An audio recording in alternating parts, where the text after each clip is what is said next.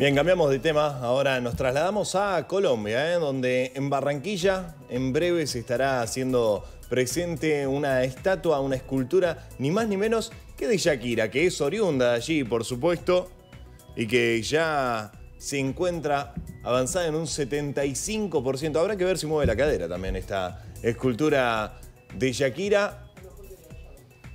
Dicen acá que está mejor que el de Gallardo, puede ser, es verdad. A pasos acelerados avanza esta elaboración que es reconocida a nivel mundial, ¿no? Shakira, eso se sabe, por su laureada carrera artística y por su labor filantrópica. Hasta el taller del maestro Gino Márquez, ubicado en el barrio 7 de abril, se trasladó el alcalde Jaime Pumarejo para conocer detalles del proceso de elaboración de esta estatua que tendrá más de 6 metros 40 y estará fundida en bronce cumpliendo con los procesos adecuados para su preservación. Ahí estamos viendo, ¿no? Algunas tomas que dan cuenta de, bueno, la curvatura de, de la figura de Shakira.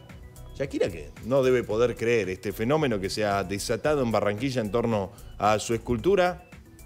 Dice el mandatario distrital de Barranquilla que la idea es reconocer a esta artista que le dio su lugar en el mundo a la cultura colombiana. Es una obra de arte que no tiene nada que envidiarla cualquiera ya creada en el mundo. Destacó que pronto será en un punto estratégico de la ciudad para que propios y turistas puedan ir a apreciarla. Me imagino mucha gente, ¿no? Y yendo a Barranquilla a visitar particularmente la escultura de Shakira. Gino Márquez, actual coordinador de los programas de artes plásticas de la Escuela Distrital de Arte y Tradiciones Populares, detalló que actualmente la obra presenta un avance de más del 70%.